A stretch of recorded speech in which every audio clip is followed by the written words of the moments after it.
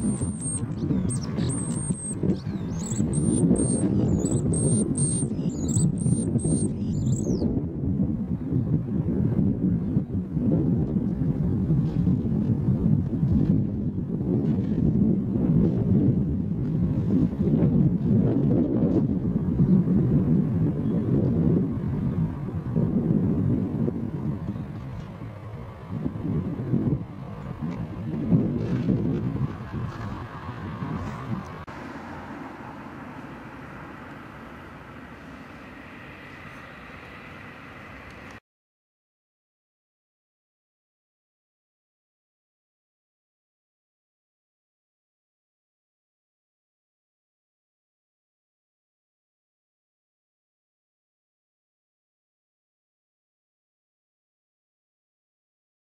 A hardy crew that lived here. Aye.